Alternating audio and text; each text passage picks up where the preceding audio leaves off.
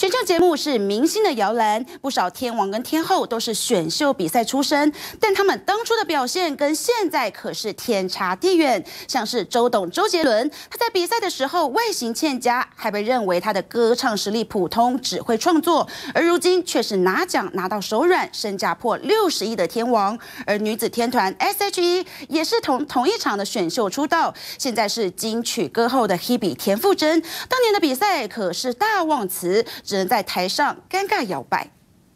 这是周杰伦，这也是周杰伦。二十六年前，周杰伦参加选秀节目，画面曝光。第一轮他担任伴奏，第二轮才亲自上场，被认为唱的相当普通。我就把它拿起来一看，哎呦！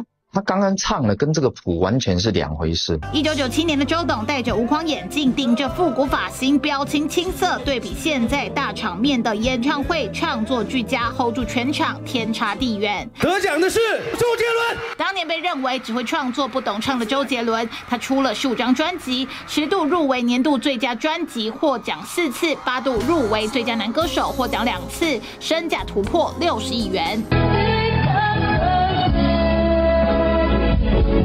佩姐蔡依林同样是选秀节目出身，一九九八年，她接连以高难度的英文歌曲从三千名的选手脱颖而出。当年青涩的小女孩，如今成了唱跳天后，入围十五次的金曲奖，身价突破二十亿。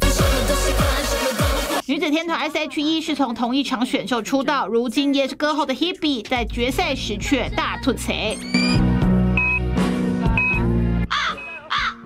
而天王林俊杰在出道前是靠模仿歌神张学友，纵合各大赛场。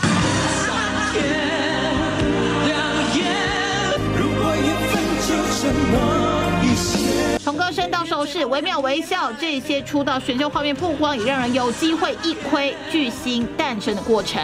点连云登景城台中采访报道。